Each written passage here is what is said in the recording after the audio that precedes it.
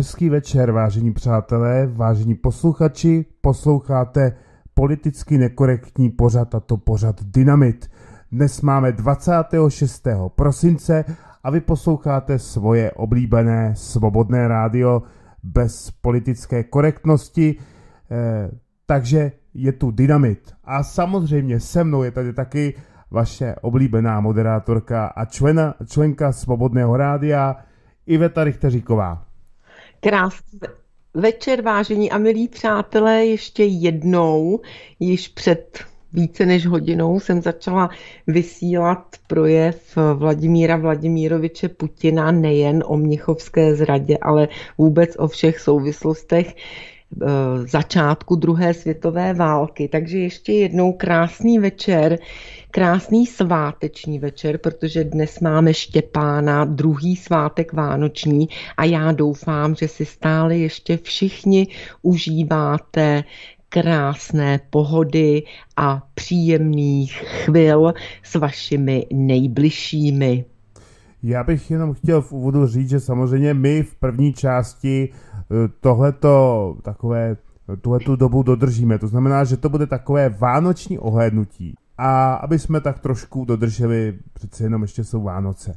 V druhé části budou aktuální témata a ve třetí části bude e, takové ohlédnutí za alternativní mediální scénou. Takže to je takové prostě Přibližné schéma, na... protože bude záležet i na vás. My se samozřejmě nejvíce ze všeho těšíme vždycky na vaše telefonáty, na náměty a informace a podněty a zkušenosti, které nám dáte do pořadu, takže možná si můžeme teď zopakovat naše telefonní číslo. Ano, to si říct si můžeme, takže telefonní číslo je 731 908 213 a Eh, Iveto, doufám, že jsi měla eh, pěkného Ježíška.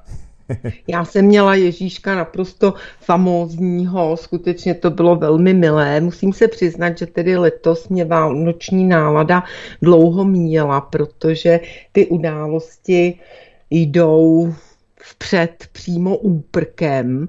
Jindy bývám už tak minimálně týden, možná i 14 dní před těmi Vánocemi v takové té krásné, skoro bych řekla milostné náladě, kdy člověk se více má čas a asi i chuť soustředit právě na to hezké, na to dobro, na to všechno, co ty Vánoce symbolizují. Já Vánoce miluji od dětství, protože moji rodiče nám vždy vždycky dokázali připravit skutečně překrásné Vánoce. Vždycky si na to vzpomenu, když Vladimír mluví o tom, jak dostával knížky a jak to miloval a jak potom neustále četl, tak já jsem to měla úplně stejné. Vždycky maminka mi dala strašnou spoustu knížek a já jsem si je dala do komínku, jsem si je seřadila, dala jsem si je k posteli a vždycky hned po ránu, jak jsem se vzbudila, tak jsem sáhla po první knížce a tak to jsem tedy pokračovala přes celé Vánoce a četla jsem a četla jsem a četla. Mezitím jsem samozřejmě lítala venku a sáňkovala a bruslila, tak jak jsme to jako děti dělali a jak jsme to milovali, ale ty knížky, to stejně jako u Vladimíra patří u mě k základnímu pocitu z Vánoc. A nejvíc si vzpomínám na Tehdy to byla trilogie, jsem dostala Lovci orchidejí a od toho jsem se vůbec, ale vůbec nemohla eh, odtrhnout. Takže u mě jsou Vánoce vždy spojeny s láskou, eh, s humorem. U nás byla vždycky hrozná legrace, ona u nás byla legrace po celý rok, ale eh, zejména o Vánocích a hlavně ty dárky, ačkoliv byly nepoměrně skromnější, než jsou třeba dnes, tak ale my jsme se na to těšili a já jsem se nemohla dočkat nikdy a maminka vždycky říkala, běž ještě na chvíli ven a já jsem byla už úplně z toho celá nemocná, když jsem byla ještě hodně malá, že ještě teda musím ven a že se nedočkám toho Ježíška.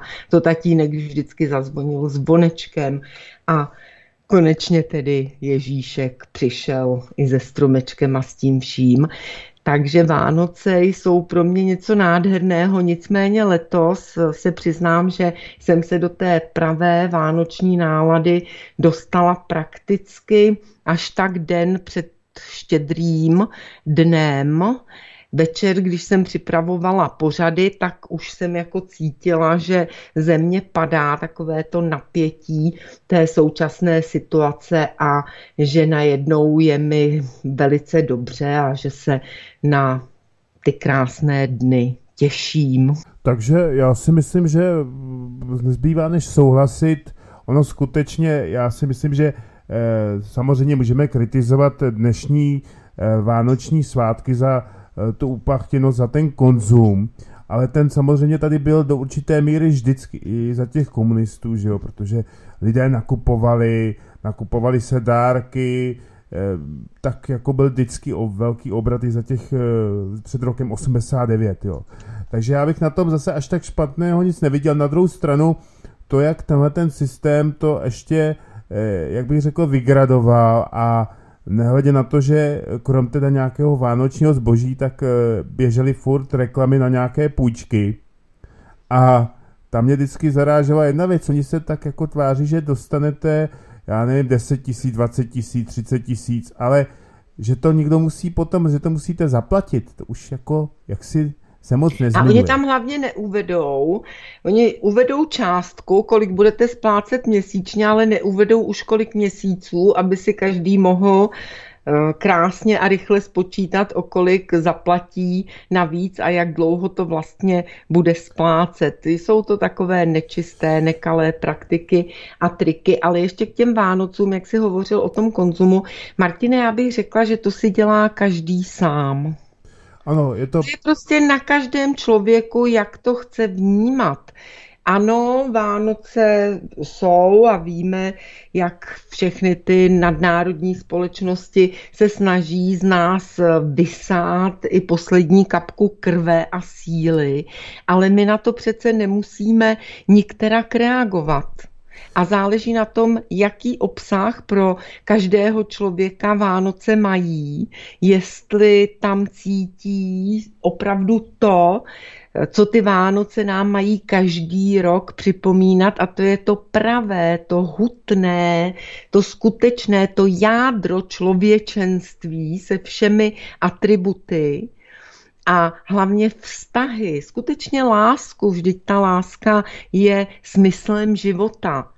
A v tom schonu a v každodenním životě někdy na důležitost vztahů a lásky zapomínáme. A ty Vánoce nás vždycky na to upozorní a každý člověk, nebo tedy zavilí odpůrci Vánoc, jistě ne, ale většina lidí, ať chce nebo nechce, tak vánoční nálada ve smyslu té sounáležitosti, té otevřenosti, dobrosrdečnosti, obvykle lidi skutečně zaplaví. Bez ohledu na konzum, bez ohledu na to všechno bláznění. Takže já si myslím, že ono se to do jisté míry s hodnocením Vánoc jako nějaké konzumní akce i přehání, protože ten konzum tady máme dnes a denně. Dnes a denně prostě pořád to do nás valí. Samozřejmě Vánoce jsou pro ně příležitost, ale jestliže my nebo kdokoliv vnímá Vánoce tak, jak už jsem řekla, tak ho ten konzum vůbec nemusí zajímat. Já jsem byla nakoupit jednou nebo dvakrát a šmitec a nějakého konzumu jsem si vůbec nevšímala. A myslím si, že eh, takto k tomu může přistoupit úplně každý. Já samozřejmě tady je další možnost, teďka to bude znít trošku reklamně, Dneska si může člověk něco skoupit přes internet, takže eh, některé prostě takové ty eh, nutnosti, abych chodil všude možně po všech krámech a teďka se prodíral tím zbožím a jestli to mají, nemají, tak eh, to samozřejmě nemusí tak absolvovat. Něco jiného je to u potravin, že jo, tam, tam to je něco jiného. Na druhou stranu, já bych chtěl, ještě chtěl říct, protože tady taková móda a mně se to nelíbí, jak ty říkáš, jako nadávat úplně na Vánoce, že ten svátek vlastně nemá žádný obsah a, tohle to není to pravda, protože vždycky ty Vánoce jsou spojeny s tím, že prostě máme, že se setkáváme se svými blízkými a že nás to takzvaně spojuje. Možná se tak, možná, že trošku opakují se, ale kdyby ty Vánoce tady nebyly, no tak by to sice byl nějaký ten slunovrat, ale někdy by vlastně nebyla ta možnost s těmi blízkými, nebo ta příležitost se takhle setkat. Já vím, že se každý může s každým domluvit, když se má sejít a podobně, ale přece jenom je tohle, ty, tyhle ty Vánoce jsou spojnice, eh, jsou vlastně eh, vzpomínkou na narození Ježíše Krista, eh, kterého můžeme mít na to, na, na náboženství jakýkoliv názor, ale byl to člověk, který vlastně ovlivnil že jo, celé lidstvo na tisíce let a jeho poselství, že bychom se k sobě měli chovat e, slušně a hezky a neubližovat si, myslím si, že e, má pořád tu platnost. Ano a doufejme, že jí mít i bude a že vláda toho, co on měl na mysli, bude na světě pořád, že to už nikdy nikam nezmizí. A já si myslím, že každý člověk potom touží. To, že lidé se k sobě vždycky nechovají tak, jak by měli, to je způsobeno stresem a vším tím, o čem neustále hovoříme, co se na nás sype ze zhora a co do nás pouštějí zleva, zprava a odevšat. Ale drtivá většina lidí, bohužel s výjimkou těch, kteří jsou na vrcholu té pyramidy, to nejsou lidé, jak jsme se na tom již mnohokrát shodli, ale jinak drtivá většina lidí chce žít v harmonii ale nechají se bohužel vtáhnout do těch nečistých her, které vysoce sofistikovaně jsou s námi hrány. No a Svobodné rádio je tady i proto, abychom společně jednak dokázali zůstat a uchránit ty naše hodnoty, ty skutečně cené přístupy a pocity a podobně a z druhé strany, abychom těm, kdo si nás přijdou poslechnout a třeba ještě jim některé věci nejsou jasné, tak aby získali inspiraci k tomu zamýšlet se nad chodem věcí a udělat si ten správný názor. Tak jenom tak asi ve stručnosti. Ale já znovu vyzvu naše milé posluchače, aby volali. Vážení přátelé, můžete volat na jakékoliv téma.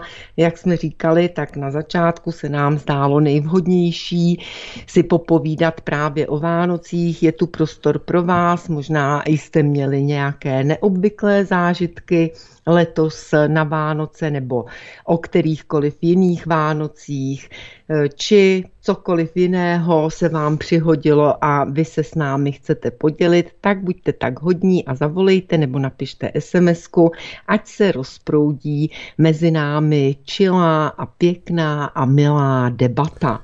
A... No a než seberete odvahu možná, nebo než si utřídíte myšlenky, co vlastně chcete říct, tak já tady mám připraveno jedno téma. A Martine, ty si chtěl ještě něco říct? Telefon je 731 908 213. A já myslím, že ještě k těm Vánocům, že bychom si je určitě měli uchovat, že bychom je neměli odhodit jako e, nějaký přežitek. Bohužel musím říct, že takové to móda u těch různých okultistů a tak dále, to se mi prostě nelíbí. A nebo nadávání na to, že vlastně malé děti, že když věří na Ježíška, takže je to vlastně podvod a podobně. Já si myslím...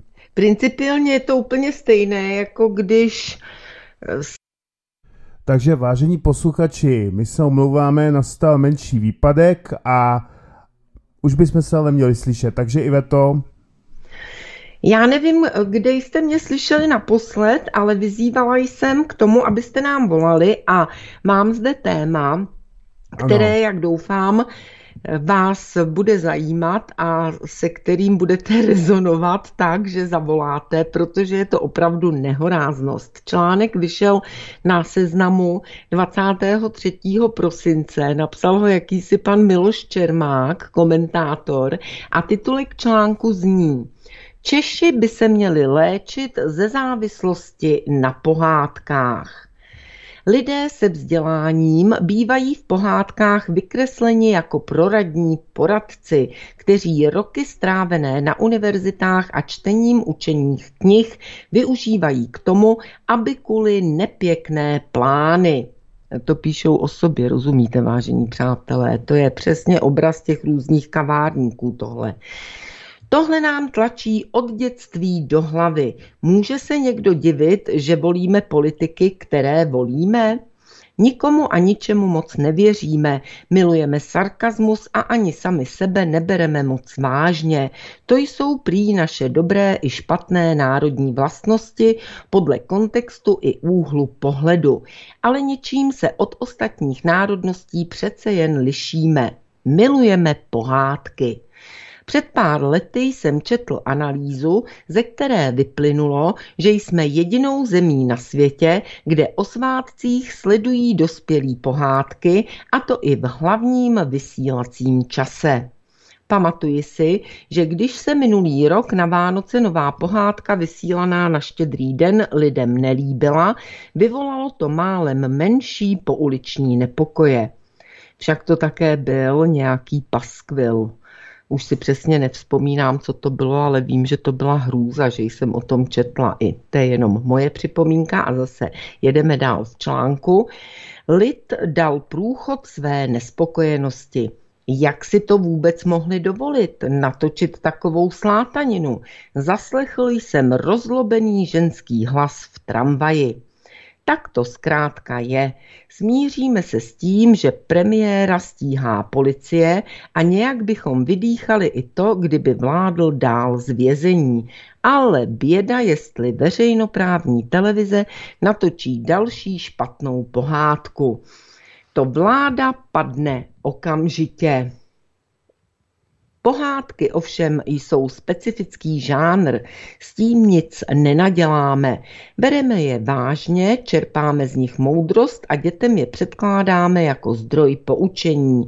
Ale časy se mění a tak najednou zjišťujeme, že i staletí milované pohádky obsahují nepěkné stereotypy. To se nám pan autor vybarvil. Jedeme dál. Ostatně jedna hollywoodská celebrita se už nechala slyšet, že její děti mají klasické pohádky zakázané. Důvod jsou plné ošklivých stereotypů. Bratři Grimové a další je špatně napsali a hollywoodská studia pak podobně špatně natočila. Nebo možná nešpatně, ale rozhodně poplatně své době. Jen si vezměte třeba takové ošklivé kačátko. Šikana a body shaming nebohého zvířete končí nepovedenou metaforou bezvýchodnosti rasového problému. Co se stane s kačátkem, když dospěje, promění se nikoli v krásnou kachnu anebo kačera, ale kachna by byla lepší už kvůli feministkám, nýbrž v labuť. Prostě změní barvu s nadsázkou řečeno, jestli si rozumíme na bílou. Zkuste si to představit jako příběh chudého černošského chlapce, který vyrůstá na Havaji a sní o velké budoucnosti. Co myslíte, že se stane? Že napře všechny síly vystuduje Harvard a stane se jako Barack Obama prezidentem? Ne, chlapče, pokud budeš mít štěstí jako ošklivé kačátko, probudíš se jednoho dne bílý. Ani s ostatními pohádkami to není lepší. Šípková růženka, princ líbá osobu, která tomu nedala a ani nemohla dát souhlas. Ano, vždyť růženka o sobě vůbec neví. To je znásilnění jak vyšité. Nehledě na to, že podle jednoho z výkladů lze růženku považovat za mrtvou. Pak tu máme jasnou nekrofílii. Červená karkulka. Nezodpovědní rodiče nechají holku běhat přes les. Kde je norský bar Nevernet, když ho potřebujeme? A to si karkulka ještě splete babičku s vlkem. K negativním jevům připočtěte neúctu ke staré osobě, tedy ageismus. No a končíme týráním zvířat, kdy myslivec vlku zaživa rozpáře břicho. Sněhurka. Jedna z řady pohádek, jež démonizuje ženy, které si vezmou vdovce s dětmi, takzvané macechy. Stereotyp je to jako vyšitý a navíc nespravedlivý, protože jde o ženy, které chtějí nebohým mužům pomoct s rodinnými pracemi a výchovou dětí. Podivná je i role zrcadla, které královně říká, že je nejkrásnější na světě. Považujeme to za pokrytecké, spupné a smějeme se tomu, ale vždyť to samé dnes dělají všechny fitness aplikace. Běžel jsi dnes rychleji než 90% ostatních uživatelů. Chválí nás po běhu. A my to chceme slyšet. Nezajímá nás, jak je to doopravdy. Běháš pomalu jak želva a podle tepovky stejně brzo dostaneš infarkt. To byste chtěli? Je prokázáno, že pozitivní motivace v seberozvoji osobnosti funguje, tak proč by to mělo dehonestovat zlou královnu? A pak tu máme našeho hloupého Honzu. Po Švejkovi a Cimrmanovi je to v podstatě třetí autista mezi nejoblíbenějšími českými fiktivními hrdiny. Je líný, tupý a nevzdělaný, ale nakonec se mu povede všechny přechytračit. Výtečný vzor pro mládež a my hloupého Honzu milujeme. Avšak když nám tohle tlačí pohádky od dětství do hlavy, lze se divit, že volíme politiky, které volíme? V uvozovkách zdravý selský rozum je ona vzývaná ingredience, které se vám dostane jen tak, bez úsilí, ležením za pecí. Vždyť ono to zní i divně, asi jako položka z jídelního lístku bystra v Karlíně. Zdravý selský rozum dobře uleželý na dýňovém lůžku za 399 korun. Lidé se vzděláním bývají v pohádkách vykresleni jako proradní poradci, kteří roky strávené na univerzitách a čtením učeních knih využívají k tomu, aby kuli nepěkné plány. Ostatně i Matěj Kotrba, pekař v podání Jana Vericha, ve filmu přece říká, kdo chce být neviditelný, vymyslete raději něco, aby ženským nestvrdly ruce po práci. Opravdu tohle chceme slyšet? V době, kdy Elon Musk i další technologičtí vizionáři sní o cestě na Mars, nesmrtelném životě a dalších zázracích, chceme, aby úsilí moderní vědy bylo vynaloženo na co vlastně? Na vynalezení lepší indulóny? Jak říkám, vrátit se k psacím strojům a do ateliérů, přepsat a přetočit. A pak možná bychom se na ně zase mohli začít dívat. Přeji hezké televizní Vánoce. Tak a já, jak jsem to teď četla znovu, tak jsem si chvíli říkala, že je to možná od autora ironie, Jsi, jsi tam, Martine? Ano, jsem tady. Já... Ale teď tady v tom konci to opět prostě vypadá jako, že to myslí vážně, tak je to otázka. Já si myslím, já si myslím, že tam, že on to samozřejmě myslí vážně, možná tam trošičku je ironie, ale je tam ta uvědomělost a já teda si myslím, že to je na jednu stranu svátonina, protože eh, jako podívejme se třeba lidé, někteří třeba nejsou tak chytří a mají se dobře. Není to vždycky o tom, že eh, k tomu, aby vlastně někdo přišel k nějakému majetku, tak musí vyvinout nějaké obrovské úsilí.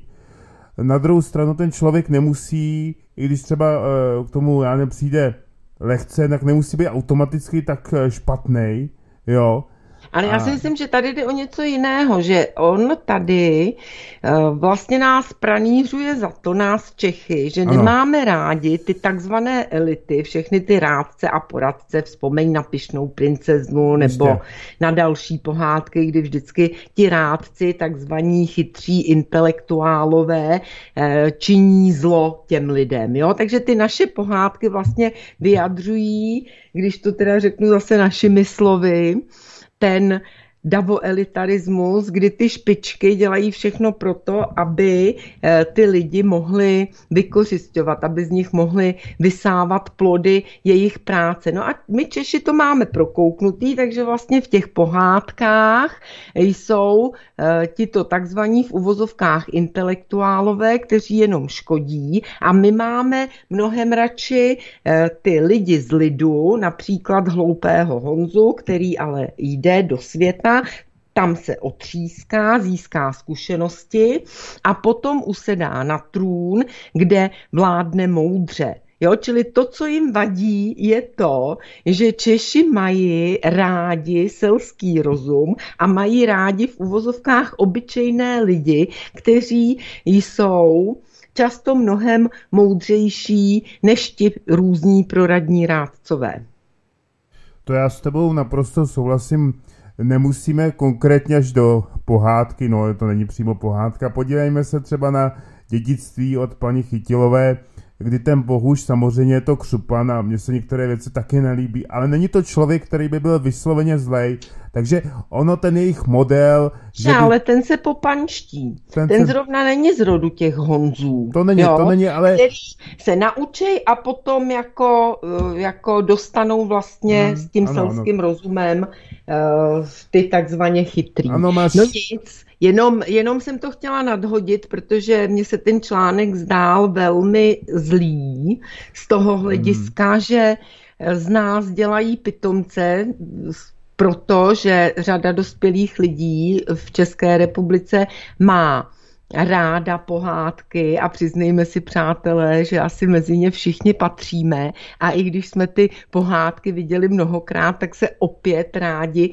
podíváme. A oni už zase v tom článku vlastně dehonestují lidi za to, že mají rádi pohádky, kde to dobro vítězí nad zlem a kde zdravý selský rozum eh, vítězí nad nějakými intrikami nějakých v uvozovkách chytrých rádců. Já jenom jsem chtěl říct, že ono to není t, eh, vlastně, jak oni to podávají, že automaticky, že když je člověk vzdělaný a je v nějaké prostě pozici, tak prostě všechno spravuje, já nevím, řádně a že de facto je to člověk, který má nějakou morálku a tyhle ty různé takové ty kliše, to nemusí prostě takhle být a zrovna příklad toho českého Honzy prostě Eh, na to ukazuje, že ten, že ten český Honza prostě má třeba nějaké omezení, ale je daleko hodnotnější než eh, ti takzvaní správní elitáři, že jo, ty různí rádcové, králové a tak dále, že jo, takže eh, na tom bychom se shodli, samozřejmě je to tendenční článek, který nás se snaží dehonestovat, ještě si uh, vem A jednu oni věc. nám chtějí vzít i ty pohádky, rozumíš? Pokud hmm. by to došlo tak daleko, tak vždyť to víme. Jednak se proti pohádkám, kde je jasné, eh, kde je dobro a kdo je na straně dobrá a uh, co je zlo a kdo je na straně zla, tak oni záměrně eh, z toho dneska dělají takový mix, kde často ti záporní hrdinové nakonec bojují jakoby za dobro. No a co se stane? Zejména malé děti v tom potom mají guláš a cílem je, aby lidé přestali rozeznávat mezi dobrem a zlem. Takže to je opět ideologický nástroj, který má ty lidi dovést k tomu, aby se nechávali eh, strhávat ke zlu a na druhou stranu, aby nechali na sobě doslova a do písmene dříví štípat. A eh, pokud eh, to všechno se nám nepodaří, ale ono se nám to podaří zarazit, tak oni skutečně by nám vzali úplně všechno, včetně pohádek, protože pohádky jsou krásné a je v nich spousta moudrosti a když to tak vezmeš, tak je to vlastně od útlého věku je to výchova velmi nenásilná k tomu, jak se má člověk chovat. A právě k tomu, aby rozeznal to, co je správné, co se dělat má, to dobro od toho zla. E, s tím se samozřejmě dá souhlasit. Ještě je tam zajímavá věc, že oni právě takové ty provokativní články na seznamu, je to vlastně v té sekci seznam a ne novinky, kde je nějaká diskuze. Takže oni de facto sice tam mají nějaké ty videokomentáře, ale ty jaksi nějak zmizely. Takže je tady vidět, že vlastně oni to dělají propagandisticky, ty lidi se k tomu nemůžou moc vyjádřit, takže je to takové skutečně agitační, jsou to agitační články, které možná se možná kamuflují trošku tou ironií, aby to nebylo úplně až tak jednoduché, ale jsou to články, které prostě se snaží rozvracet naší kulturu, dělat e, z lidí pitomce, a bohužel to bude i nadále pokračovat a díky tomu vlastně, že ten seznam má takovou moc, tak ta televize jejich. Je čistě propagandistická televize, protože já si sice nedělám teda nějaké iluze o uh, programech většině, většině tele, televizních stanic, většiny, ale musím říct, že to, co teda dává televize seznam, tak to je prostě to nejhorší dno. Protože podle průzkumů dokonce ta televize má snad, já nevím, asi 10 tisíc diváků za, za den. Jo. Takže tam je skutečně velice, velice velice málo No sledovaná. to je hlásná trouba zase těch amerických státních elit nebo těch bažin, jak jim hmm. říkáme. Hmm. To je bohužel žumpa seznamu. Eh, takže takové oni vlastně chtějí adorovat ty diktátory. Já bych teda navrhoval, aby jsme si dali jednu písničku z nového alba skupiny Ortel a dali bychom si toho diktátora. Co ty na to? Určitě a já jenom ještě znovu si dovolím pozvat eh, naše diváky do diskuze. Já si myslím, že diskutovat o pohádkách, že to je takové krásné volné téma právě pro sváteční večer, abychom zase ho celý netrávili jenom tou politikou. Tak přátelé, pojďte do toho a teďko Ortel.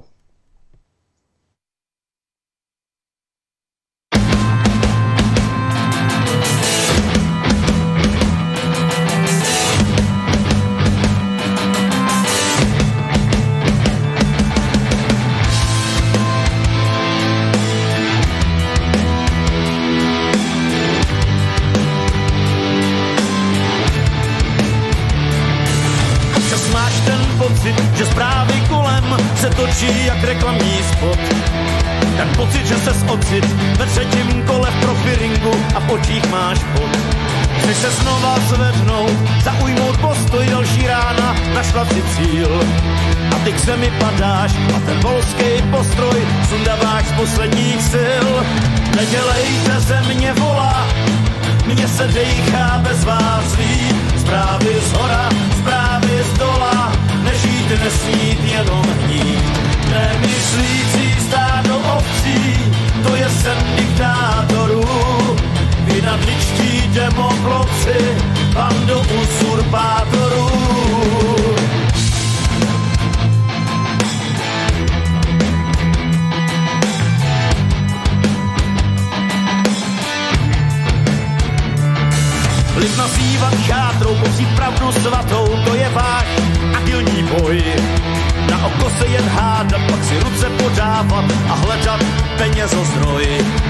Se denně zvracet z vaší práce sami zloděj lenochalu. Dávají se do křížku, ti, co rudou mají knížku, z vaší tlamy je cítit pachšu. Nedělejte se mě volá, mně se dejchá bez vás líp. Zprávy z hora, zprávy z dola, nežít, nesmít, jenom hnít. Nemyslící stádo ovcí, to je sen diktátorů.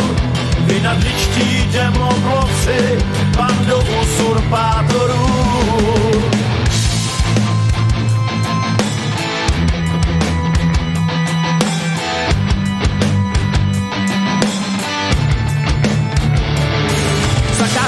názor, krásna dej ti za vzor, všechny zavřou, co naznačí vzdor. Tak tohle jednou už tu bylo, víme kam to zbylo, začnu hledat svazácký kroj. A tak křičím do tmy, prosím pane rodný, půta škrtí a půzujete. S nálepkou eurobrance otevřou se prej šance na lepší a slunečný svět. Nedělejte ze mě vola, mě se dejchá bez vás líp. Zprávy z hora, zprávy z dola, nežít, nesnít, jenom hnít. Nemyslící stát do ovcí, to je sen diktátorů. Vy nadličtí demobloci, bando usurpátorů. Nedělejte se mě volat, mě se dejchá bez vás líp. Zprávy z hora, zprávy z dola, nežít, nesnít, jenom hnít. Nemyslící stát do ovcí, to je sen diktátorů. Vy nadličtí demobloci, bando usurpátorů. Nedělejte se mě volá, mě se dejchá bez vás líp. Zprávy z hora, zprávy z dola, nežít, nesnít, jenom hnít. Nemyslící stát do ovcí, to je sen diktátorů. Vy nadličtí demobloci, bando usurpátorů. Takže to bylo superové album, album Diktátor Tomáše Hortela a já jsem rád, že jsme to mohli odvysílat, že nám tentokrát nic nespadlo, doufám, že to ještě vydrží. Takže Iveto, slyšíme se? Slyšíme se a opět velmi vydařená písnička. Já jsem ráda, že eh, máme to album, že s ním můžeme seznamovat Jako naše posluchače, protože ono je nové, že? Čili tady jsme skutečně jako jedni z prvních určitě. A co je také velice důležité, jsme tomu rádi a blahopřejeme, Tomášovi Ortelovi, že se mu stále daří držet kvalitu svých skvělých písní, což není vůbec jednoduché a ani to není úplně obvyklé. Někdy se stane, že se nějakému skladateli nebo skupině povedou jedno, dvě alba a potom už to třeba nejde, ale tady je vidět, že se zase něco velice povedlo. Vnímáš to také tak, Martin? Já jsem byl velice překvapený a dokonce bych tvrdil, že eh, tohleto album patří určitě eh, k nejlepšímu, co zatím Tomáš složil. Eh, protože samozřejmě ty ostatní alba jsou také prýma, ale tady bych řekl, že ty texty jsou chytlavé, chytré, hlavně teda vynikající kytara, vůbec celé nahrání a vůbec, jako bych řekl by, řemeslně hudebně provedené perfektně, takže já bych určitě hodnotím drtivou část klade velmi pozitivně, takže eh, myslím si, že eh, když to vememe u, u různých, já nevím, i zahraničních skupin, tak až na výjimky, tak člověk musí, když takhle vybírá něco do rádia, tak musí teda hodně vybírat, ale máme tady telefon, já ho teda vezmu, doufám, že se nám to tady nesesype, tak já ho vezmu, slyšíme se? Dobrý večer. Dobrý večer, pane Hezký večer, pane Václave. Ano, povídejte. Zdravím vás, paní Stariká, i pana eh, kolegu, a všech, samozřejmě všechny posluchače a k těm pohádkám bych tak nějak dodal jedno. Víte, oni protože jsou prostě naprosto nabroušen proti všem slovanským pohádkám, ne proti na, jenom našim. Ano. Tak skritizovali to, že koukáme vlastně na mrazíka, který je neustále opakovaný pro absolutní já nevím, zájem diváků, bez toho si snad nikdo neumí představit Silvestra, tak eh, že jsme, že to děláme kvůli tomu, jak si děláme srandu z Rusů. Takovou ano, já jsem to viděla, neslyšel. ale neuložila ale, jsem ale, si ten článek. Máte ale, pravdu. Na to ale, jsem zapomněl. Jsem to ale, ale pravdou je, že naše pohádky jsou skutečně nádherné. Ty původní pohádky, ano. Ale to, co se dneska z toho stává, tak, my, tak se z toho stávají Disneyovky. Jestli jste, já jsem dneska náhodou, jsem koukal na, na ČT, protože tam byly tady ty pohádky, a to, co udělali s nějaký pohádky, a co, teda pan Strach, co udělal, udělal takovou slátaninu. Oni, když neumí nic vymyslet svýho, tak prostě udělají slátaninu z tří pohádek. To bylo něco tří bratří, eh, já nevím, vejce. Jak našli nebo jestli to byly ty tři bratři, teda, nebo nějakým takovým způsobem. Ale to samý, to ty samý slátaniny eh, jsem viděl popelku americkou, šílen, jo. Jo. Prostě neumí udělat pohádky a oni totiž neumí udělat vůbec nic. Pokud udělají západě, pokud v tom um, Disneylandu nebo v tom, já nevím, těch jejich studiích Hollywoodu a podobně udělají eh, já nějaký film životopisný nebo nějaký román filmujou, tak ho tak překroutí, že de facto, jestli jste to četla, nebo viděla původně, já nevím, řeknu, Gabéna v, v, určitě v tom uh, No, no to je jedno, to, ne, to, ne, to, no, to nemusíme řešit. A, a podobně. Tak oni to udělají takovou hovadinu, že, že tři mušketýři, že prostě to nepoznáte, to je, no prostě oni Ano, si vezmou, ale přitom to tak nebylo něco, vždycky. Něco Třeba toho, kdysi autora, ten Disney, ta Disney... A doplní tam svoje denní názory a oblbnou úplně lidi. A nejhorší je to u historických filmů, který oni historii překroutí na, na ruby. Stejně jako česká televize, to je šílen. A to, co dneska, když si vezmete program, který dneska vysílají, já jenom projedu program třeba, který dneska vysílají český Nová, no všechny ty naše stanice, to je, buď je to, buď je to starý, tisíckrát omílan, dneska to byl, já nevím, všechno možné, ale to je, to je prostě... A nebo se na to nedá novýho, koukat, když je to když nový. tam dají něco nového, jako, a je to, člověk se na to chce kouknout, protože vidí název, tak si jistí, že je to taková patlanina, že se na to koukat nedá. To je tak můj ten tak. názor, ale faktem je, že takhle se to dělá ze vším. Hmm. Takhle eh. nás oblbujou úplně ze vším. Ať se kouknete napravo, nalevo, dnes, jediný, co jsem, tuhle, tuhle jsem si spustil televizi a tam byla nějaká mladá ženská, který se ptali, nebo to bylo na, na tom, na, na internetu, nevím. A teďka se jí ptali na tuky. Jak by rozlišila tuky. Uh, jestli je, co je dobrý, jestli máslo to. Tak jsem čekal, jaká hovadina z ní zase vypadne, protože jednou, jsou, jednou se vejce nesmí, teďka už se, teďka, teďka už se znova nesmí, už je to zase, už je to zase foj. A ona řekla, že prostě to, ty, to máslo bere jako nejlepší potravinu a samozřejmě v určité míře a že tomu dává chuť a že je to prostě správné. To samé sádlo.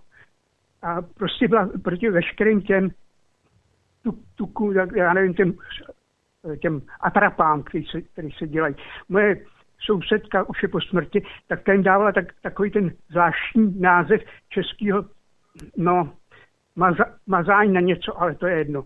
Takže to asi je ode mě všechno. Takže vážení přátelé, vážení posluchači, já vás opět zdravím, velice se omlouváme, opět nastal další technický výpadek. Bohužel neštěstí nechodí po horách, ale po lidech. Takže já tu opět vítám v Dynamitu Eh, naší Ivetu. Slyšíme se?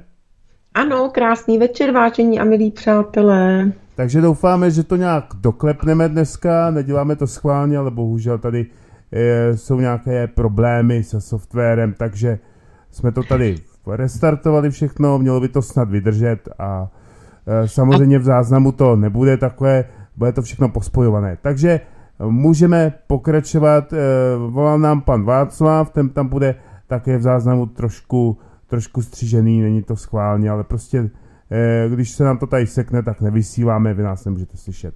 No, eh, co se týče těch pohádek, já si vzpomínám, eh, když jsme teda u nich, že například i v 60. nebo 70. letech jsem viděl nějakou si starou pohádku, kde ta princezna vypadala velice elegantně, velice slušivě, vypadala i poměrně moderně oblečená a nevypadalo to nějak, že by tu pohádku dehonestovalo. Takže i dříve ty, ti producenti byli schopní udělat kvalitní, zajímavé, zajímavé pohádky, moderní a aniž by se ztratil nějaký ten ráz těch pohádek, takže Určitě, ale i Disneyovky, původní popelka byla nádherná. Ano. To všechno eh, jde postupem času, tak jak si to plánovali ti nelidé tam nahoře na té pyramidě a je to stále horší a horší, jsou stále drzejší a drzejší a e, zkoušejí také, vždycky je to i test na to, jak se k tomu lidé postaví, aby zjistili, e, jak dalece mají nebo nemají lidé vymité mozky, takže to, jak v loni se lidé vyjádřili velmi nesouhlasně k té pohádce, která běžela v loni v televizi, tak to bylo nesmírně důležité, protože jsme tím dali najevo, že rozhodně zatím ještě nám mozky v hlavách fungují a také, že zatím ještě stále většina lidí má srdce na pravém místě. Nicméně já tady mám ještě, když jsme u té televize, tak tady mám jeden zajímavý článek z prvních zpráv. Je to úvaha pana Kobzy, takže já bych se do toho pustila, Martiny. Není problém, můžeme. Eh, článek vyšel 25. prosince a má titulek ČT24 už odhodila zábrany a přiznala funkci propagandistického kanálu. Netuší někdo, proč se na štědrý večer na ČT24 máme dívat na to, jak českoslovenští pohraničníci bránili nelegálnímu opuštění republiky? Položil si řečnickou otázku k programu ČT24 na štědrý den 24. prosince 2019 poslanec Jiří Kobza. Zdá se, že ČT24 už odhodila poslední zábrany a přiznala se k plné funkci jediného propagandistického kanálu, který si sami platíme, aby nám vymýval mozky. Inu boj o českou duši na všech úrovních, od základních škol až po ČT24 nesmí polevit, protože co kdyby lidi najednou procitli a začali vidět věci takové, jaké jsou, a ne takové, jak jim předepisuje ČT24? Míní poslanec Kobza. No, to by přece byl malér a mohli by dokonce začít uvažovat o Chexitu, kam by potom ti propagandisté z ČT24 šli? Kdo by je zaměstnal? S obavami o tvůrce propagandistických filmů uzavřel svůj komentář k programu na ČT24 vysílaném jako na potvoru na štědrý den 24. prosince 2019 poslanec SPD Jiří Kobza. Já tedy na tu televizi se nedívám, protože ji nemám, ale četla jsem i na některých diskuzích, že naprosto nezvyklé, možná Martine si z toho také všiml, nevím, Česká televize vysílala témata týkající se druhé světové války v průběhu svátků. Což je tedy velmi podivné, ale možná to souvisí právě s tím bojem teďko o historickou pravdu, kdy jsou zde útoky, mohutné útoky a mohutná snaha o přepisování dějin, na kterou odpovídá zaplať pán Bůh už rázně a jednoznačně Rusko, dokonce slovy Vladimíra Vladimíroviče Putina, jak jsem četla před dynamitem eh, celý přepis té konference nebo toho jednání SNS, které proběhlo 20. prosince 2019. Mm, Čili možná, že to všechno souvisí se vším. Docela si myslím, že asi ano. Já si myslím, že oni samozřejmě tak různě kličkují Česká televize. Eh, veme si například to, že oni nekomentují například, já nevím, to eh, vystoupení toho Pavla Novotného a vůbec jako to, co se děje v Řeporích, tak já mám dojem, že snad ani možná Česká televize nekomentuje, protože vědí, že by třeba se lidé, ty důchodci, mohli by se začít zajímat, kdo je pan Novotný, co říká, co dělá, a oni to vlastně tak jako řeknou, že to je ten bulvár, takže to nebudou řešit. Nebudou řešit taky některé ty výroky třeba členů ODSky a tak dále. Proto vlastně tyhle ty informace se takzvaně odfiltrují a dají se tam jenom nějaké ty zásadní nějaké témata a ono to budí skutečně Dobře, dojem. ale jasně, ale na Vánoce, že jo, nebývala témata druhé světové To nebývalo, války no, to je nějak otázka. skloňovaná. To je otázka, tak asi se buď to o něco snaží, nebo eh, do jaké míry ty pořady jsou propagandistické, asi jsou, takže eh, se snaží eh, kouty železo, dokud mají možnost a dokud prostě ta česká televize má ty peníze z těch koncesionářských poplatků. No jsou to pozor, jsou to poplatky ne české, eh, jako ano, samozřejmě české televize, ale jsou to poplatky za to, že můžete přijímat televizní signál. Jo, to je právě to nejhorší, tak místo toho, aby to teda spravoval nějaký orgán, kterém, který prostě bude, já nevím, se starat o tu celou uh, vysílací síť a já nevím, z toho se to bude financovat, když už se to teda platí, tak se to platí té jedné instituci, ale to je ta, to je ta vlastně pořád pohádka dokola. Takže máš pravdu, snaží se o něco, já si myslím, že tam bude určitě nějaký propagandistický boj, že vlastně ti Němci byli hodní a že o jak si omylem bojovali e, proti nám a případně, že to teda byla skupina jenom A mě to s námi mysleli dobře přece. že to byla vlastně skupina nacistů, pardon, on se vlastně neříká, že to byli Němci. Všimni si, že vždycky se říká nacisté, neříkají Ano. se Němci, že jo, takže to byly, to byly ty takový ty podivní, asi v tom Německu byla nějaká prostě část, která se jmenovaly, jmenovala na, na, nacistická republika a vlastně ta vlastně nás nějak napadala a jinak to Německo, že jo, bylo hodné, že jo, jako chudáci, že jo, trpěli, takže, takže asi Ano, nějak takhle nedávno to bylo. vyšel nějaký srdcerivný příběh, nevím kde, eh, o tom, jak Němci chtěli slavit Vánoce, myslím u Stalingradu a jak je Rusové nenechali a oni si tam udělali nějaký stromek a svíčičky a je na boží hod nenechali slavit. No skutečně jsou to věci, o kterých se nám vážení a milí přátelé ani nesnilo. To se teď děje, nicméně ten arzenál palebný, který vytáhl Vladimír Putin, ten bude mít dopad. Kdo máte zájem, tak pořad, který jsme vysílali od 18 hodin, bude v archívu. Jenom zmíním stručně, že tam Vladimír Putin označil de facto Mnichovskou zradu za začátek druhé světové války, přesně popisuje, jak tam k tomu došlo, má po ruce eh, archivní dokumenty, ze kterých eh, tam čte, hovoří jasně o tom, jakou roli tam měla eh, Anglie, Francie, ale zejména také Polsko. Tam je to velký eh, atak na Polsko, samozřejmě spravedlivý, protože tam není uvedeno nic jiného než fakta.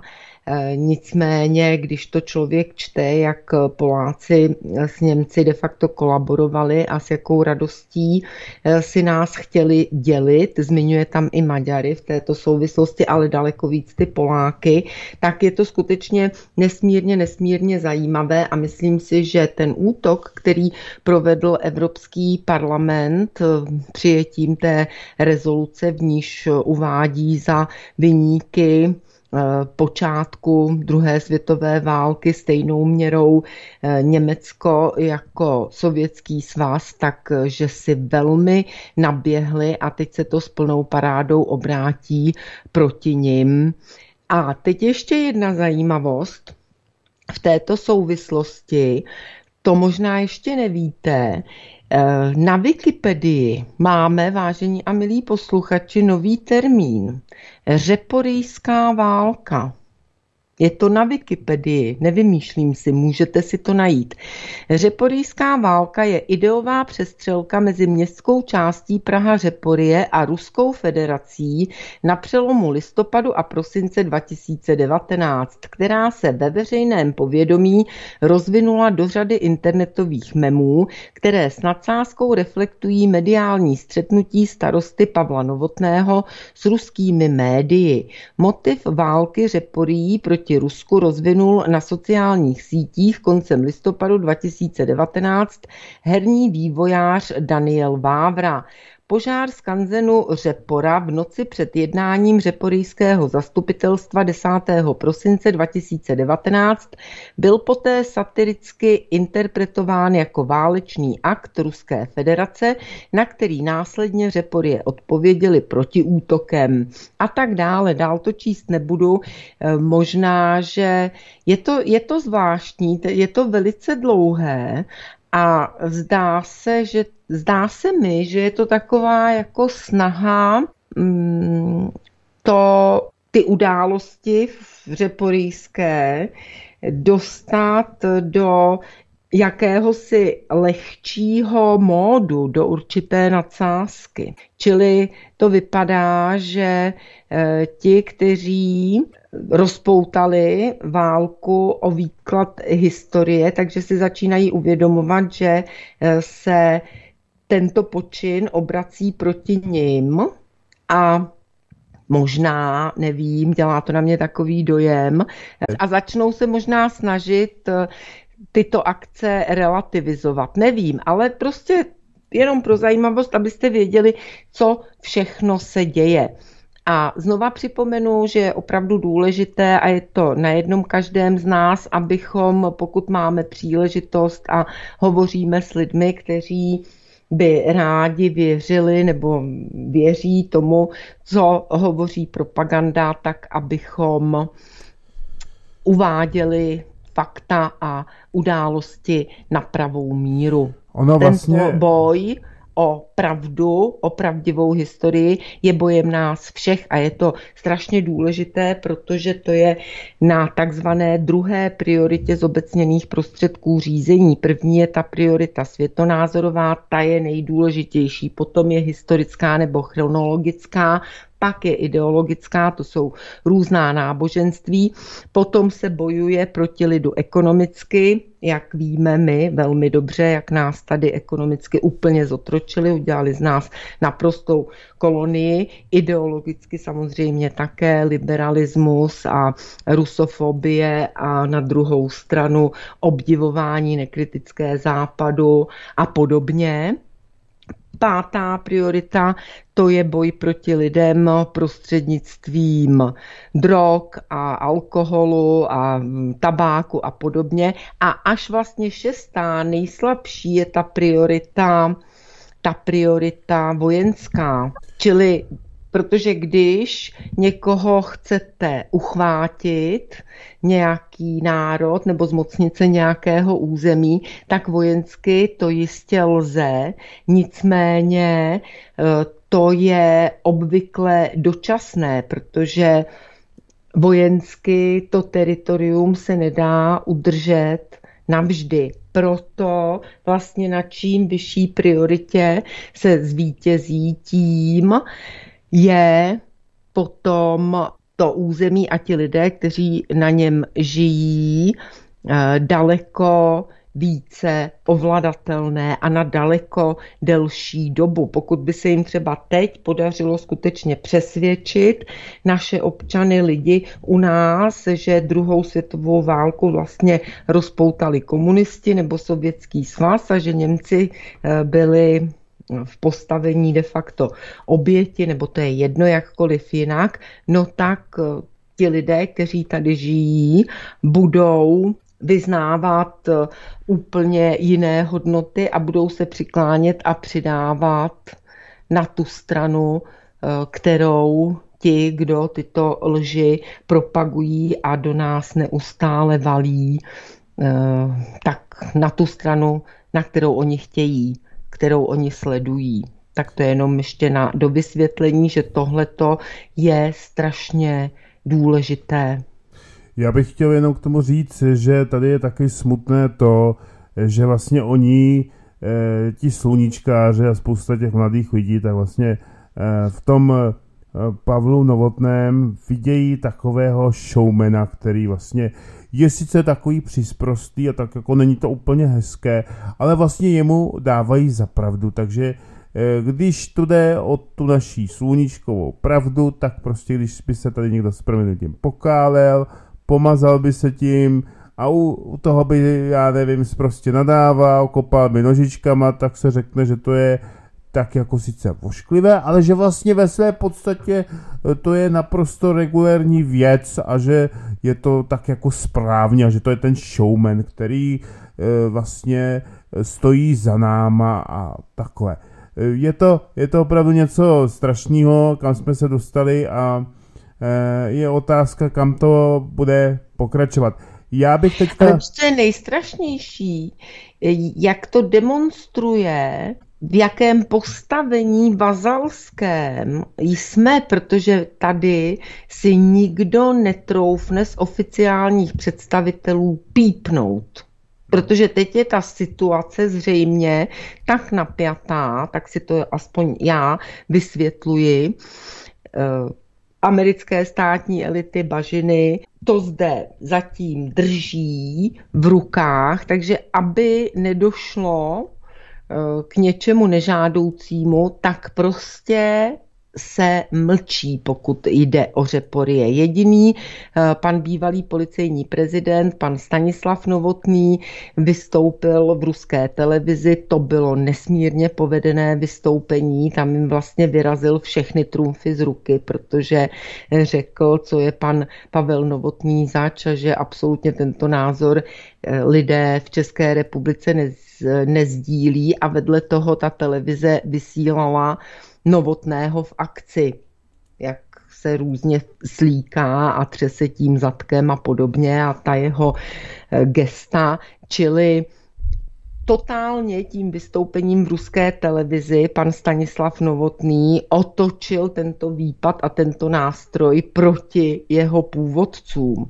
Nicméně je strašné, když si uvědomíme, v jakém jsme postavení, kdy nikdo z těch oficiálních představitelů, ať už je to ministerstvo zahraničí nebo prostě další instituce, se k tomu de facto nevyjádří, anebo když se vyjádří, tak se vyjádří neutrálně. Já bych jenom chtěl k tomu říct jednu věc. Eh, eh, můžeme to, když to vememe, když se budeme snažit být hodně objektivní, tak já jsem viděl, měl jsem možnost různě na těch zahraničních televizích vidět vystoupení různých těch teroristů a tak podobně, lidí, které by člověk nechtěl potkat na ulici. A, ale nikdo z nich se takhle s prominutím debilně nechoval. Jo, vždycky všichni měli trošku aspoň snahu, eh, aby teda to, co říkají, byť to teda bylo strašné, tak aby to řekli aspoň kultivovaně. Tenhle ten, eh, tohleto prase z se chovalo tak, že to byl jak dement z ústavu, teďka jak tam vlastně ještě jako ukazoval, že ty ostatní jsou blbce, že jo, klepal si na čelo, eh, tak eh, to je něco tak neslušného, že to musí odsoudit opravdu každý člověk, protože i když chce říct něco hodně ostrého, musí to mít nějakou formu. A tenhle ten člověk prostě se choval tam jako zvíře, možná ještě hůř. A Našim představitelům to vůbec nevadí, že se takhle někdo prezentuje, byť je to, byť, jo, já chápu. Já myslím, že jim to vadí, ale že prostě teďko si netroufnou nic říct, aby se tu něco nestalo, že jo. Měli jsme tady, měli jsme tady ty útoky v Ostravě a podobně, no. I to je možno a možná, že by se taky, když by se někdo odvážil, tak by se hned řešil jeho kádrový profil, jestli to není ten agent toho Ruska a podobně, jo podívejme se na pana Kundru, jak tam psal ty Putinovi agenti, já vím, že on řekne, že to bylo jakoby v uvozovkách, ale mě by teda zajímalo, když teda, ono to bylo bez uvozovek, tak by mě zajímalo, kde jsou ty vázací akty a, a kde jsou ty naše náštěvy na to, na té ruské ambasádě a tak podobně. A e, jako já jsem nic takového prostě nezažil, my nikam takové zváni nejsme, e, takže já si myslím, že my se snažíme Eh, být objektivní a vychází nám přesto, že prostě to Rusko hájí eh, své zájmy korektně a snaží se samozřejmě eh, uchránit Evropu před islamizací a tak dále. Byť třeba můžu mít, já nevím, v ruském národě nějaké výhrady k tomu, že občas ne to velikářství, ale to už bývá takhle u těch, u těch velkých národů, ale Eh, prostě myslím si, že Rusové eh, si zaslouží, aby jsme se my k ním chovali korektně, aby to byly oboustranně výhodné vztahy, to znamená, že prostě navzájemné výhodnosti, tak aby jsme prostě si prospěli navzájem aby jsme prostě před nimi zase neklečeli a prostě podle hesla ty pán já pán. Jo. A myslím si, že pak to bude v pořádku, ale tohle, to, co se děje, tak to ničemu neprospívá. Ukazuje to vlastně, že jsou tady takový prostě s prominutím idioti, že možná dokonce ani na té Ukrajině takový nejsou, jo. jo, jako tenhle ten řeporijský blbec. No a to je další věc, že vůbec takového člověka si zvolili za svého představitele, byť v malé městské části, nicméně zvolili v Řeporijích. A to zase se dotýkáme té staré bolesti a sice chodit k volbám, protože ten zjev, nebo jak ho nazvat, ten ta, ta, ta kreatura mohla být zvolená jenom díky tomu, že k těm volbám skoro nikdo nešel. Že to vlastně lidi nezajímá. Jasně. Já jsem, eh, bych se tě ještě zeptal, jak si hodnotila eh, dnešní projev pana prezidenta? Já velmi kladně. Velmi kladně. Za prvé se zdá, že pan prezident se opět dostal do formy, vypadal velmi dobře, trochu přibral, vypadal zdravě, tak tomu držíme palce a přejeme mu to zdravíčko, které je opravdu potřeba. On to potom v závěru také zmiňoval, že v první řadě přeje zdraví a že sám dobře ví, o čem hovoří. On tedy zmiňoval jenom své bolavé nohy, ale když si ho promítnu, jak vypadal před měsícem, před dvěma, kdy byl opravdu hodně vyhublý, tak teď vypadá báječně. Co se mi tam nesmírně líbilo, byl, byla ta stať, kdy hovořil o takzvané klimatické krizi, kdy vysvětloval, že země prošla mnohokrát procesy oteplování a pak zase ochlazování, hovořil o Grónsku, že to kdysi byla zelená země, hovořil o tom, že nevíme vlastně, jaké všechny vlivy kosmické mohou stát za tím oteplováním, tedy dnes a jindy zase ochlazováním, některé i zmínil, o kterých víme. Také hovořil o tom, že Evropa produkuje 9% CO2, z celosvětového množství, že daleko víc produkují Spojené státy americké, Čína, Rusko, Indie a další země. A přímo tam, jestli si to správně pamatuji, varoval před tím, aby vlastně Evropa kvůli klimatickému šílenství nepředala veškerý průmysl do jiných zemí a potom tady vlastně nedošlo pouze k jedné věci a sice k, ke schudnutí. On to neřekl, on nepoužil tohoto slova, ale myslím, že použil slovo snížení životní úrovně obyvatelstva. Řekl to velmi šikovně, on neřekl, že o to někdo usiluje nebo že je to cílem, ale on řekl, že má obavu, aby nedošlo k tomu, že Evropa, která je papeštější než papež, se zbaví svého průmyslu a potom v důsledku toho tady dojde eh, ke snížení životní úrovně. Tak to bylo jedno téma, které jsem nesmírně ocenila. A potom jsem ocenila i ten závěr, kdy hovořil o tom, že bychom se neměli bát bolesti, což hned převzali některé servery a napsali, že nám popřál bolest pan prezident, ale on to hned vysvětlil a říkal, že má na mysli to, o čem hovořil už Tomáš Garik Masaryk, a sice abychom že by nám popřál bolest z myšlení, protože, jak víme, tak myšlení bolí. Ono je to dáno i fyziologicky, jakmile mozek musí přemýšlet, tak skutečně to bere hodně energie, proto lidé jsou rádi, když něco mají vymyšleno rychle a když si nemusí tu hlavu příliš lámat. To tam teda neříkal, to jenom teď jsem si na to vzpomněla já. A že tedy by popřál všem bolest z myšlení, abychom si hledali informace, abychom používali eh, vlastní rozum a činili si vlastní názory na jednotlivé události, situace, mm, znovu zdůraznil, jak je důležitá názorová pluralita a že bychom o všech názorech měli diskutovat. Takže pro mě jinými slovy pan prezident řekl opět velmi šikovně, vlastně lidem řekl, nevěřte těm různým propagandám. On to asi nemůže říct tímto způsobem a možná by to ani nemělo ten dopad.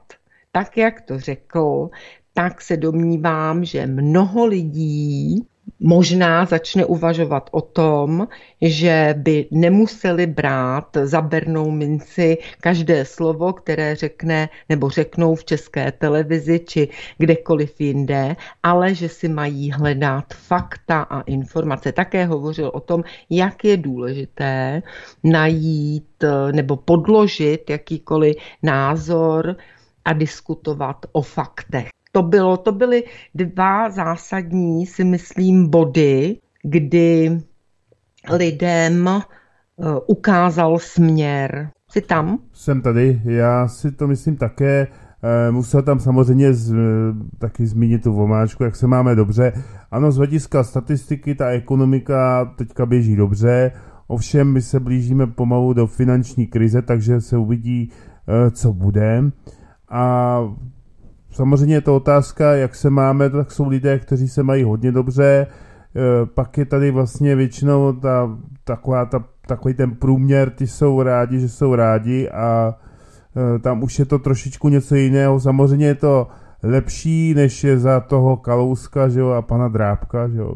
To, bylo, to bylo docela peklo, no ale je otázka, aby jsme si to udrželi, aby jsme se neměli hůř. Jo. To je další věc. Ano, tyto to dělá pan prezident, dělá to i pan Babiš, že se neustále bíjí z prsa, jak jsme na tom dobře. No, nevím, jestli tomu oni sami věří, ale zároveň tady v této souvislosti zmínil ještě třetí věc, kterou považuji za kladnou a za něco, co signalizuje světlo na konci tunelu a to je ten národní investiční plán. Já už jsem o tom také hovořila v letem světem internetem, že po 30 let, pokud vím, tady nic takového nebylo. Samozřejmě je to jenom plán, eh, mohou to být jenom řeči, ale už to, že něco takového dali dohromady, si myslím, že signalizuje, že eh, Česká republika že se s ní počítá, že se s námi počítá nejspíš v rámci té V4 nebo V4+, plus, nebo Mezimoří, Trojmoří a tak dále. Tady se má sformovat nějaký eh, takový útvar, i když je otázka podle mě, jaký bude, jaké státy se v něm nakonec ocitnou, protože i teď ten projev pana prezidenta Putina, kdy velmi tvrdě hovořil o Polsku, když uváděl jednotlivá fakta, jak Polsko spolupracovalo s nacistickým Německem a jak se těšilo na tu svou kořist v podobě Těšínska, tak je skutečně otázka, jak to dopadne, ale myslím si, že se s Českou republikou počítá. A konec konců mít plán a mít ho naznačený, mít ho v bodech, to je vždycky první krok, to je určitý základ, který tu nebyl a teď tu tedy je. A pan prezident ještě mluvil o tom, že se do toho díval a že to nejsou jenom nějaké proklamace, ale že jsou tam prostě učiněny už určité kroky, návaznosti, já nevím, já sice jsem měla odkaz na ten plán, ale přiznám se, on má asi 75, ne ještě víc stran, tak jsem ho nějak podrobně nestudovala, ale nemám důvod eh, nedůvěřovat slovům pana prezidenta, eh, který v tom vidí víc než jenom nějakou proklamaci. Eh, ano, já s tebou souhlasím, bylo by to dobré. Já bych navrhl, aby jsme tohleto ukončili, dali jsme se k té třetí části, dáme si písničku Oceán od Tomáše Ortela. Co ty na to? Já jsem rozhodně pro, pro Tomáše Ortela, já jsem vždycky. tak výborně.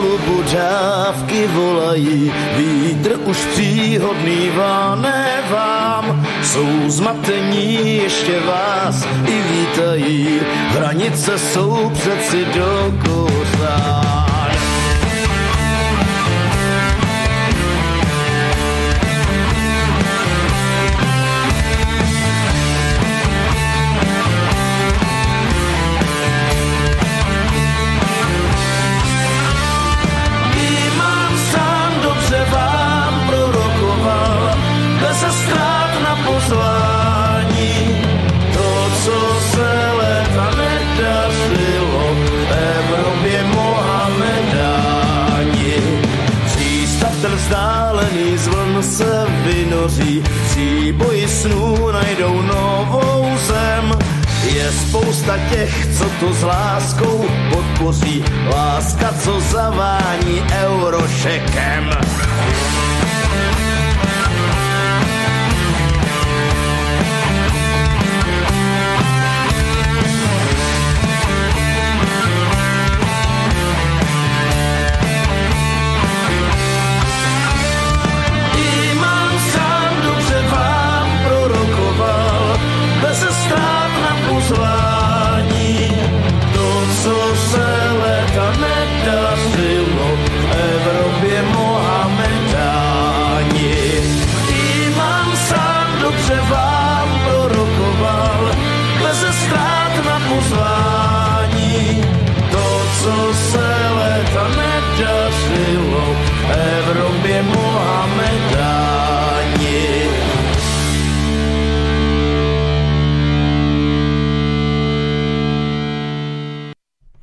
Tak to byl Tomáš Hortel.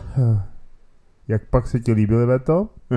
Líbil, ale ten diktátor asi víc, ale ono to chce, ty už si to určitě slyšel víckrát, já jsem si to pouštěla jenom asi jednou, hmm. čili ono to chce slyšet vícekrát a pak si člověk některé ty skladby zamiluje až na poněkolikáté, ale rozhodně je to vynikající. Kdyby nic jiného, tak velmi dobrá muzika, jak si zmínil, tak skvělá profesionalita instrumentální a zároveň eh, na té úrovni, kterou nevždy lidé vnímají úplně vědomně, ale eh, prostě zaznívají tam nejdůležitější témata naší doby. A spousta lidí si zpívá ty písničky, že se jim líbí, ale ty písničky mají texty, které mají zcela jasný obsah, takže to, co dělá Tomáš Ortel, to je nedocenitelné. Tak a já bych eh, tu třetí část věnoval trošku pohledu na alternativní informační sféru. Eh, v první řadě bych se teda zmínil o panu Soukupovi a televizi Barandov, kde teda jsem sledoval e, ty jeho zprávy a musím teda bohužel říct, že jsem konstatoval, že jaksi se nejenom bulvarizují, ale že vlastně už pan Soukup jako tak jako říká, jako eh, no neměli byste kouřit, neměli byste pít a tak dále a tak dále. Já samozřejmě nejsem proto, aby lidé se nějak mohutně opíjali a aby Eh, teda nějak mohutně kouřili, protože samozřejmě to asi není eh, nic zdravého, nicméně když teda se řekne, dobře, pak když teda chcete pít alkohol, pijte ho z nějakou, v nějaké únosné míře, abyste na něm nebyli závislí, aby prostě vám to nepůsobilo nějaké zdravotní problémy, jo, eh, to samé, to samé s kouřením a je to přijde teďka takové to agitování za to, jak se všichni máme tak strašně dobře a jak vlastně všichni se tak snaží a sem tam teda se něco nepovede, ale je to ještě taková větší agitka. Eh, je to škoda, že prostě pan Soukup takhle uhnul, ale asi zřejmě byl nějakým způsobem donucen eh, tím, že mu bylo vyhrožováno, že by mu byla možná odebra, možno odebrat licenci a podobně, takže spíš takhle udělal takový ten bulvár a e, nemá takovou ani nějakou prostě informační hodnotu, třeba, že by se, já nevím, mluvilo o migraci nebo prostě o nějakých poklescích Evropské unie a tyhle ty věci, které prostě by třeba prošly, ale které jsou také zajímavé, ale nic z toho prostě v těch zprávách není. Bohužel se z toho stal takový ten bulvár a nevím, myslím si, že skutečně až skončí ty politické pořady, kde tam vystupuje Tomio Okamura a tak dále, tak mám velikou teda obavu, že vlastně to, co bylo dobré na televizi Barandov, tak to zanikne. Já si myslím, že ono jde udělat v té mediální scéně televizní prostě dobré pořady. Podívejme se na InTV, když na Slovensku vysílá, jak tam byl Norbert Lichner a Lubomír Hudio. Ty také nemohli samozřejmě říkat takzvaně, jak bych to řekl, na plnou hubu některé věci, které říkáme tady, nebo které oni říkají na Infovojně, ale prostě mělo toto informační hodnotu, bylo to kritický, nebylo to tak eh, tvrdý, ale prostě byl to mediální zjev, uh, jo, který potom zanikl díky nedostatku peněz a tak dále, ale prostě byla to ukázka toho, že je možné provozovat nějakou e, televizi, e, která prostě poskytne informace zásadního charakteru, byť teda se musí držet nějakých mantinelů a je škoda, že prostě pan Soukup jako se toho zalekl a teďka dělá spíš takové ty bulvární zprávy, no. Jak, jak to vidíš ty? Martiny, já nijak, protože já jsem žádné ty pořady neviděla. Já každopádně cením tu práci, kterou udělal pan Soukup, hlavně co se týkalo české televize a také jak dává prostor lidem, jako je pan Tomio Okamura a další, protože, jak víme, tak eh, Tomio Okamura se do vysílání české televize téměř nedostal, takže je důležité, že tam ty názory zazněly.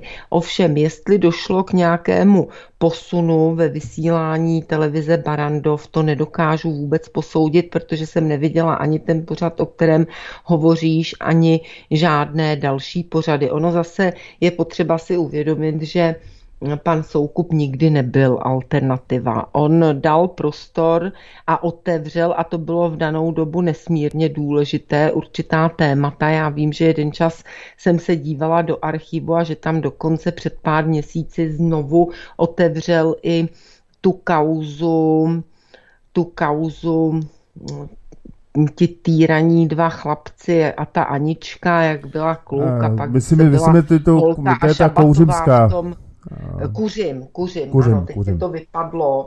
E, samozřejmě obsahově to bylo takové nemastné, neslané, protože, jak si zmínil, tak na té televizi zřejmě nemohou zaznít radikálnější názory či informace, ale otevřel to. Čili tam vidím zcela jasnou zásluhu té televize, ale já bych to všechno přičítala tomu, o čem už jsem hovořila mnohokrát, že teď u nás probíhá opravdu, nebo minimálně probíhal v průběhu podzima ostrý boj o nás. Zejména tedy ty americké státní elity, které zatím to tu asi drží v drápech, třeba ministerstvo zahraničí a podobně. Zároveň o nás bojuje Německo, vidíme, jaké jsou tam útoky masivní přes tedy vydání majetku rodu Valderode a teď o to též e, usilují Lichtensteinové. Takže já to vyhodnocuji, nevím, jestli správně, tak, že v zájmu toho, aby se tady nerozpoutal nějaký Majdán, tam evidentně s tou řeporijskou kauzou, tam že jo, se spojil Novotný s, se Žirinovským, čili tam mi to připadalo, jako kdyby to chtěli udělat zároveň Praha a Rusko, rozpoutat to, o co se snaží už těch x let, prostě v Rusku eh, rozpoutat občanskou válku. Takže já si to vyhodnocuji tak, že někdy je prostě důležité ubrat a hned se nevyjadřovat, aby eh, se nerozpoutalo něco nežádoucího. Může to být tento případ. Může to být i to, co říkáš ty, já to nevím. Jasně, jasně. Já tam jsem tak jako reflektoval to, co prostě jsem i zaslechl v diskuzích, že prostě tam je nějaký problém. Uvidíme, třeba se ta situace zlepší. Já jsem komentoval teda nějakou aktuální situaci. Eh, dobře, můžeme říct, že je to furt celoplošná televize, takže tam skutečně je boj o prostě o přežití toho projektu, takže prostě se tam musí uhnout. Ehm, co můžu říct, eh, takové v současné době je tu ovšem skupina, že jo, kolem různých takových těch anonymů, kromě teda Venci Konopníka, že jo, který furt takové různě vystřeluje různé věci, které už jsme tady probírali, ale jak se díváš na to, a bylo to, bylo to opět zmiňováno, už jsme to jednou se o tom bavili, nicméně ta věc se tady furt opakuje a spousta lidí na to slyší. E, teď to řeknu naprosto tvrdě, kdy pan Hlávka na svobodném vysílači v jakémsi pořadu interakce v akci říkal, že on by nechtěl žádnou politickou změnu, že je potřeba, aby se změnili všichni lidi a pak už nebude potřeba žád, nic měnit, že všichni řeknou, no ale já jsem vlastně, bude to krásné, bude to úžasné a ty elity, které škodí, tak řeknou, hele, ale já jsem vlastně škodil těm lidem, já teďka budu hodnej chluk a už nebudu tam je okrádat, že jo, pan Babiš najednou začne e, prostě zvyšovat platy svým zaměstnancům a bude prostě se vypořádávat s různýma těma svýma lidma, kterým ublížil a tak dále a bude vracet různé podíly. Jak se díváš na tuhle tu vizi, že prostě změníme to prostředí pomocí nějaké Eh, pomocí nějakého jednoho rádia, který poslouchá pár lidí a pak se všichni vlastně eh, takzvaně změní a už se to bude všechno krásné a sluníčkové. Jak se na to díváš ty? Tak já zase nevím, protože svobodný vysílač neposlouchám, tak nevím, co Pavel Hlávka řekl a co neřekl. Tady ta věc, ono to na sebe váže jak to říká často i Vladimír, máme takovou vládu nebo takové představitele, jaké si zasloužíme v tom smyslu, že to, co nás reprezentuje, do nějaké míry nás i odráží. Jo? Takže jako to, aby lidé se začali zajímat, aby začali se měnit, protože spousta lidí dneska je minimálně, jsou ti lidé lhostejní, to vidíme všude kolem sebe. Já si stále myslím, že lidé jsou v zásadě dobří, ale jsou uondaní tím systémem, nezajímají se o to, co je okolo nich a podobně. A dokud prostě, že i my to říkáme, že je potřeba, aby lidi otevřeli oči a když, ale aby je mohli lidé otevřít ty oči, tak nejprve musí být vůbec ochotni je otevřít. To je jo. pravda. Čili, čili já, si, já nevím skutečně, co on řekl, ale je pravda, že ta změna musí přijít ze zdola, ta ze zhora nepřijde, protože tamhle to mají obšancované americké státní elity, to je v současné době to úplně nejšílenější zlo. Proč? Protože ty si neuvědomují, že válka by zničila i je. No a pak mají další segment globalisté, kteří jsou v uvozovkách lepší jenom v tom, že si uvědomují, že válku nesmí dopustit, jinak jsou z úplně stejného těsta ve smyslu toho, co chystají pro lidi, protože jim na lidech absolutně nezáleží.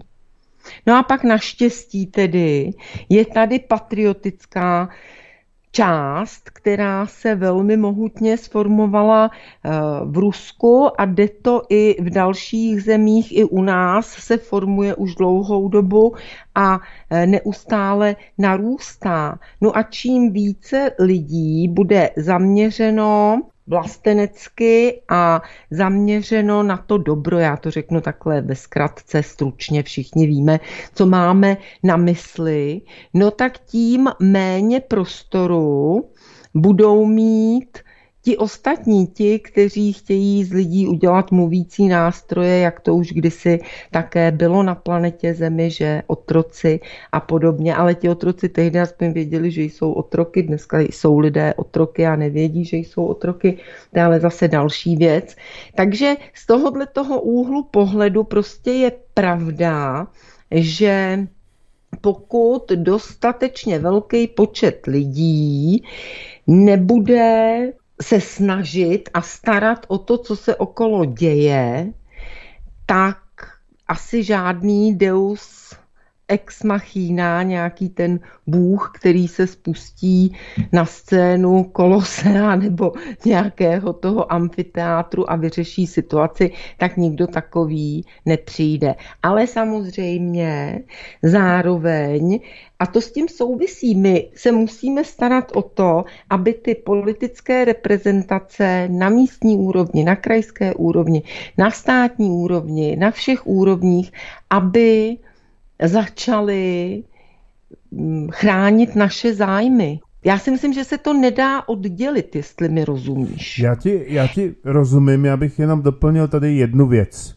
Lidé by si skutečně měli uvědomit, kdo tady za ně bojuje. To znamená nejenom to svobodné rádio, nejenom třeba ti aktivisté, jako třeba pan Hampl a tak dále, pan Konvička. A to jsou skutečně takoví ti osvícení lidé, kterým se dá věřit, ale uh, můžeme tady říct jednu věc, já vím, že bude to znít jako proklamace, ale uvědomte si, přes tyhle ty všechny chyby, která ta strana má, to znamená strana SPD, tak prostě se snaží v tom parlamentu. Já vím, byly tady různé problémy a jsou, ale nic není dokonalý. A jestli teda skutečně se stane jedna věc, že bychom upadli do takzvané letargie, to znamená, že budeme teda čekat na, na to, že se to nějakým způsobem změní samo, že teda to Rusko nebo prostě nějaké ty jiné státy to za nás zařídí, no tak jako by jsme, e, možná některé věci by se změnily, ale tady u nás by bylo peklo. A je bohužel smutné, že e, kolem, já nevím, toho Ironetu a těch e, médií jsou lidé, kteří vlastně jsou takzvaně anarchisticky naladěni, kteří řeknou, na co bychom měli nějakou vládu, teď si můžeme vládnout sami. Vidíme to sami, když prostě nejsou nějaké ty mantinely, jak se kolikrát lidé chovají. Takže skutečně je potřeba, aby lidé tu... Ale tak společnost vždycky musí někdo organizovat. Ano. I když si uděláš vlastní oslavu rodinou, kde budeš mít 20 nebo 30 lidí, a je to jenom na pár hodin, tak ale prostě tam musí být někdo, kdo to vymyslí, připraví, organizuje. A čím větší skupina lidí, tak tím samozřejmě je potřeba více organizátorů, čili že by mohla tak nějak dnešní společnost, kdy je lidí tolik, že by mohla tak nějak sama o sobě existovat, to je názor No, já nevím, jak ho ani nazvat. No, no dobře, takže, ale, Asi ale veme, no. veme si tady prostě třeba pan, eh, pan generál Blaško, eh, tady různě prostě bojuje, snaží se v rámci svých možností a je různě dehonestován od eh, vlastenců, kteří ani nevědí kolikrát, jak to v tom Evropském parlamentu funguje, že jsou tam různé prostě eh, zákony, které třeba potřeba schválit, ale na to je nabaleno dalších prostě další x nesmyslů a nedá se s tím v současné době nic dělat. A říci, uh, pane generále, nechcete se na to vykašvat, no tak jako to znamená, že vlastně on by, já nevím, když by mohl rezignovat, jako že by asi mohl, tak vlastně uh, ten svůj hlas, který jsme mu dali, tak dá pryč a za něj bude rozhodovat zřejmě asi teda uh, ti globalisté, ty síly v tom parlamentu evropském, vůbec by to ničemu nepomohlo. A já jenom chci říct, že aby lidé si uvědomili, že jsou zde takový ti různí anarchisté, jako třeba pan Brunty Pír, Smutný clown, Astra a tak dále, kteří vlastně se točí v nějakých okultních nesmyslech a to jsou věci, které nám prostě nepomůžou. My potřebujeme e, změnit tady e, prostě společnost. To, že se nikam uzavřeme a budeme si tam představovat, že lítáme ve vesmíru, to prostě nás nezachrání. Nehledě na to, že spousta těch lidí, kteří tohleto praktikují, tak řeknou, já jsem měl teda krásnou tu meditaci, ale když jsem se probral, tak ona, představte si, ona ta realita tady prostě furt je a nic se nezměnilo. Takže skutečně začněme myslet prostě uh, tak, jak se má a podpořme SPD, případně třeba i pana Vandase, když budou ty, já nevím, místní volby a tak dále. A e, pro boha, mně tam přišlo úsměvné jedna věc, že pan Hlávka tvrdil, že politické strany jsou zde jenom proto, aby prostě takzvaně si přikrádali a tak dále. A na druhou stranu pak tady vychvaloval pan, paní Vítovou z ANS a tak dále, takže si naprosto protiřečil. Takže já vím, že lecos není dokonalé, že by jsme všichni chtěli prostě, aby ten systém byl krásný, prostě bez, bez kazů, ale bohužel to tak nejde, je to tak nastaveno a jestli chceme něco změnit, tak musíme eh, prostě to měnit postupně a přes nějaké reálné řešení. Eh, protože on tam například ještě vyčítal, že SPD nepodporuje reformu společnosti a pana Šlimbacha. Nakonec eh, dokonce byl jeden pořad i s panem Valenčíkem, který řekl, že Eh, ty myšlenky jsou hezké, ale nerealizovatelné, takže jako nezlobte se, ale prostě nemůže eh, SPD podporovat všechno, eh, byť je to třeba s dobrým úmyslem, ale musí to mít prostě reálný základ. Takže asi takové a já bych jenom apeloval na všechny, aby neupadali prostě do deprese z různých takových těch matů, jak je ten Michal a Pavel a tak dále a aby vždycky prostě měli kritické myšlení, jak říkal pan prezident, aby se snažili prostě utvářet názory a srovnávali si to, co se děje s časem. To znamená, že si někde něco přečtu u venci, eh, zkontroluji si další fakta, počkám, uvidím, jak se situace vyvine a pak eh, kolikrát vidím, že ono to nebylo, ono to nebylo takové, jaké vlastně on říkal. Já si pamatuju, když pan VK tady říkal, jak Rusko de facto tu Sýrii vlastně, že to bude katastrofa, že, tam, že to bude další Afghánistán, nic takového se nestalo. Takže já bych jenom apeloval na lidi, aby nešíleli. Je samozřejmě dobré studovat různé zdroje, ale pro boha, když se tam na těchto těch pochybných webech nebo na těch různých YouTube kanálech něco dozvím, tak si to nejdřív ověřím a neříkám, je to stoprocentní pravda, protože mám pocit, že to tak vypadá. No, tak já si myslím, že to je, přesně si to řekl a řekl to velmi pěkně pan prezident. To se mi nesmírně líbilo, aniž kohokoliv očernil, tak vlastně lidem řekl, nenechte sebou vláčet, nenechte se manipulovat, buďte kultivovaní, buďte vzdělaní, schánějte si fakta, je to potřeba a diskutujme. To určitě, a tak to má být. Tak a tak to, to má být. Určitě ano. Eh, u nás tady můžete diskutovat vlastně de facto o všem. Můžou se samozřejmě tady objevit různé kritické názory, i třeba různé vošklivé, ale pak samozřejmě ten eh, volající musí počítat s tím, že při, příště už nedostane prostor, ale jeho názor tady zde zazní, až teda na nějaké výjimky, které tady byly v minulosti, ale tam zase bylo něco jiného. Takže eh, Iveto, dáme si poslední písničku a to písnička je k tomu tématu, jmenuje se Cesta, aby jsme nesešli z té správné cesty. Dobře. Tak co ty na to? Myslím si, že to bude fajn a já bych se takhle... A rozloučíme se před nebo po písničce? Rozloučíme se teďka.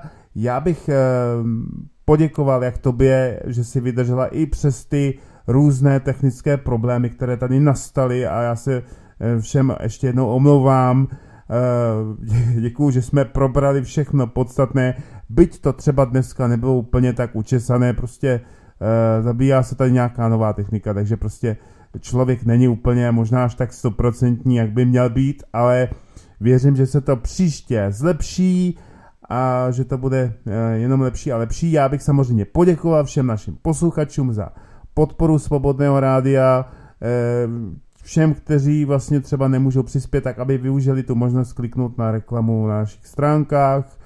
Eh, děkujeme samozřejmě za podporu finanční, které si vážíme.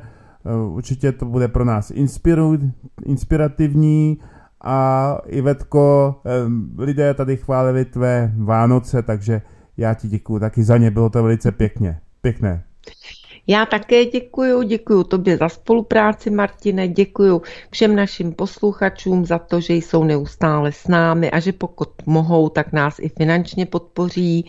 Mějte se moc a moc krásně a držme spolu, jak říká to Mio, to je další věc, která se mi Jasně. líbí. Držme spolu a dělejme to, co můžeme, co je v našich silách a ta situace se určitě zlepší. Teď doopravdy ten projev Vladimíra Vladimíroviče Putina mi vlil velkou krev dožil, nebo hodně krve dožil, protože to bylo potřeba a je vidět, že už se snad tedy učiní přítrž všem těm lžím. No a na nás je, abychom si uchovali naší krásnou zemi, naši vlast pro nás a hlavně pro naše potomky. Jasně, já bych vás poz, ještě bych chtěl pozvat na další pořady a to bude Eh, první díl Hunger Games 3, to znamená Hladový her, eh, to je ta poslední série, takže jsou sice Vánoce, nicméně my jsme se rozhodli eh, pro velký zájem to takhle zařadit spěšně. A potom máte tady od pana Vericha Fimfarum 2, takže každý si určitě vybere. A já děkuju za poměrně velkou poslechovost a Přeju vám všem hezký večer, Iveto, děkuji ti. Já také, naschledanou. Naslyšenou. Oh, oh, oh, oh.